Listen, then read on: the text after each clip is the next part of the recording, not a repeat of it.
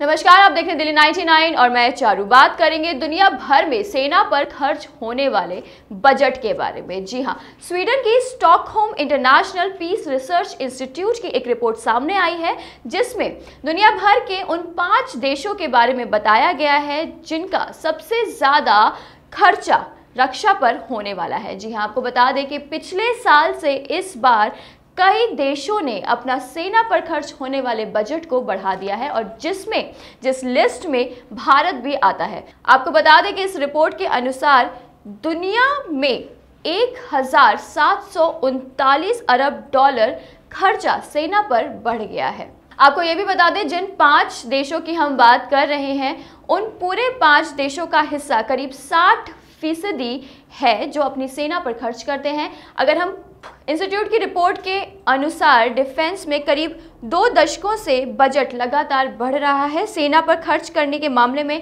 America, चीन, Saudi अरब, रूस और भारत टॉप पर है।